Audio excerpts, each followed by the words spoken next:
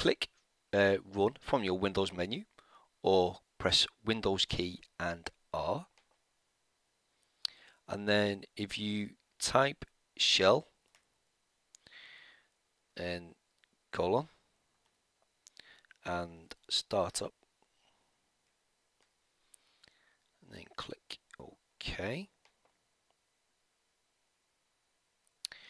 Now from the browser if you right click the browser you want to automatically start when your computer starts. If you right click the browser this is in Windows 10 and if you select open file location or more and then open file location and we click on this.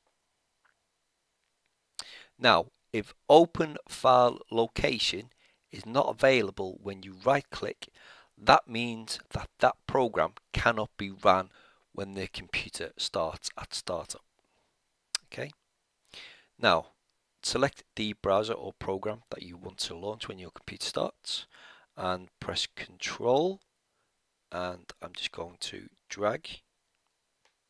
This will copy the application into the startup folder.